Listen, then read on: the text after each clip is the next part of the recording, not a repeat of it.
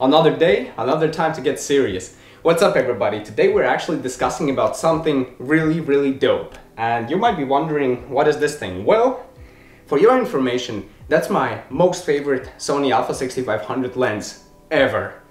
And you probably already guessed it, it's the 18 to 105mm f4 lens. Before I get roasted in the comments, uh, I'll be giving you at least four reasons as to why this is my favorite lens ever and even though I have the Sigma 30mm and 16mm 1.4 lens, I still use this 80% of the times. If you're not interested in the theory, you can just go for the end of the video because I'll be compiling projects I've shot in the last, I don't know, like 6 to 10 months by using only this lens. So that's something you don't want to miss because you know I like cooking up dope edits for you. Enough talking? Well, I'll continue talking, but you know the drill. Reasons why this is my favorite lens ever. So the reason one is 18 to 105 millimeters.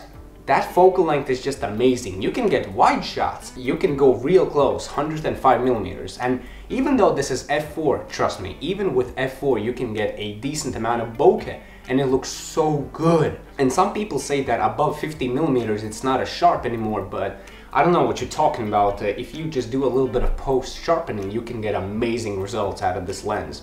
So the focal length is just perfect for me. The second reason why I love this lens is because when you go from 18 to 105 millimeters, it stays at f4. This means that you don't have to worry about changing your ISO or your shutter speed. You can just leave it at f4 and that's it. Don't worry about a thing, basically. I really like that. I really like that. At first I thought it's not gonna be anything special, but once I started using it, I realized how awesome it is. The third reason why I love it is because once you go from 18 to 105, this lens doesn't change its length. Some of you might be like, why is this a big deal? Well, for your information, you know that nowadays gimbals have become super popular. If you put a Sony Alpha 6500 with this lens here on a gimbal, this means that you can go from 18 to 105 without rebalancing the gimbal and that is just amazing. I really like this little, uh, where is it, power zoom here because sometimes I'm just, you know, on the gimbal using 18 millimeters and I'm like, ooh, this could look good with 85 millimeters. So what I do, I just press this button for two seconds, I'm on 85 millimeters and I can keep working. I don't have to rebalance anything. This is exactly why I don't miss any moments when shooting events and weddings with this lens. If you would be using the Sigma 18 to 35, yeah, it's a fast lens, but you would have to rebalance your gimbal all the time, especially if you have the Zhiyun version 2 or older versions, then you'll just have to rebalance every single time you change the focal length, and that's a no-go from me. Fourth reason why I love this lens. Many people are complaining about this, and I, I really don't see the reason why. It's kind of heavy. Well, it's not really heavy, but you can feel that it's solid, solidly built. The reason why I love this is because Sony Alpha 6500 is a really, really light camera. And once you combine this lens with that camera, you can easily balance it on all possible gimbals in the world and it just feels good in your hands because you, it feels like you're not holding a feather, but you're holding a proper tool. I just like that extra weight on me because it just it kind of gives me this feeling that the tool is more reliable. Maybe it's just me, but I don't know, it just it just happened. Yeah, I, I kind of broke this uh, like a half a year ago because, uh, yeah, it fell down, but uh, it still works. Fifth reason why I love this lens. Look, I told you I'm gonna be telling you at least four reasons, but I'm already past four. That's how good this lens is.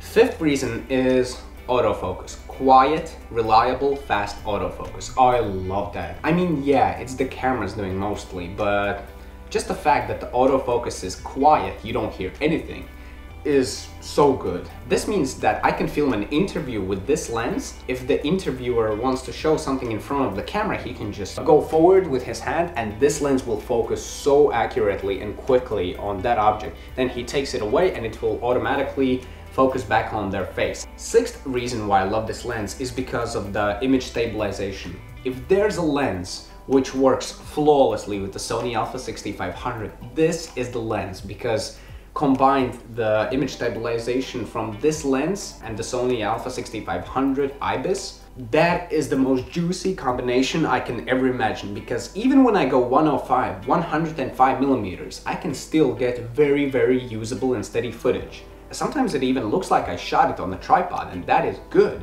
And if I use the clear image zoom, it's above 200 millimeters, right? And I can still get a couple of seconds of usable footage when handheld, and that is just mind-blowing. Yeah, it's not as good as GH5, but it's definitely usable. So yeah, these were the six reasons why I really love this lens. Uh, but now let's talk about the practical part more. Before I actually show you the footage I have shot with this lens, I wanna speak about real life experience. So I've been using this lens for the last one year and a couple of months, right? It's still working. It, I mean, it has a couple of scratches here and there, but it, it's clean. It doesn't have any scratches on the lens, which is really good because I'm careful, kinda. I've used this on weddings, events, different sports videos, and even clubs where the lighting is really, really bad. You know, Sony Alpha 6500 has a very good low light. Sometimes I even go up to 12,000 ISO, and with a little bit of uh, denoising in post, it's perfectly usable footage. I've used this everywhere in the last one year and two months and I still use it almost everywhere. It's just such a reliable lens. I know that if there's an event where I know that I'm not gonna be having much space, I just take my backpack, I put my Sony Alpha 6500 with this lens only, and that's it. I'm happy. I can survive the whole day. I can get all the shots I need with just this lens. In weddings, actually a funny story, I use this lens for 80% of the times. Until reception, when the lighting is kind of getting very bad, then I use my Sigma lenses. And events, I only use this lens. For example, this video here, uh, you can see it somewhere here, right? I'll leave a link to it and this was 90% shot on this lens.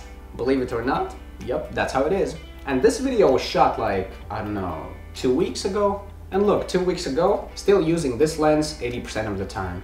I guess you already heard the reasons why I love this lens so much and enough talking, time to compile the projects I've shot over the last uh, one year and I don't know, two or three months and show you what this lens is capable of.